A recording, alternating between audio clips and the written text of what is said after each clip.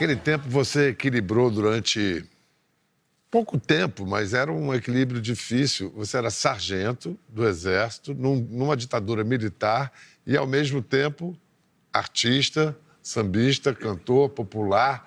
Como foi essa administração? Rapaz, foi uma navegação difícil. navegação difícil.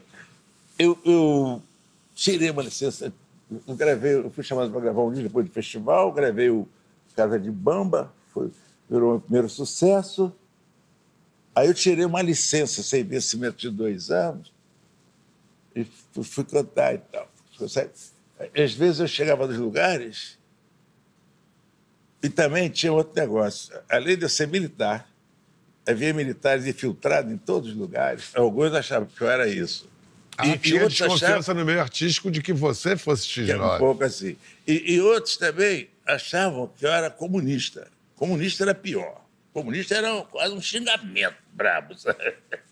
E, porque eu tinha ido a Angola, que é o país é, comunista, comunista, ou pelo menos que se pre...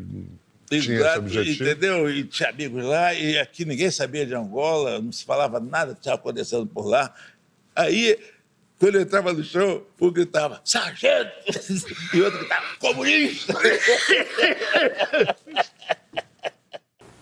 Estou praticamente me despedindo do Exército de 13 anos de carreira e já começo a sentir saudade dos amigos que fiz lá. Boa gente.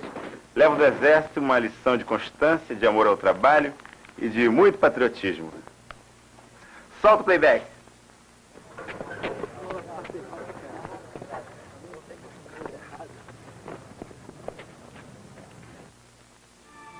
Ontem, hoje, sempre. O seu exército.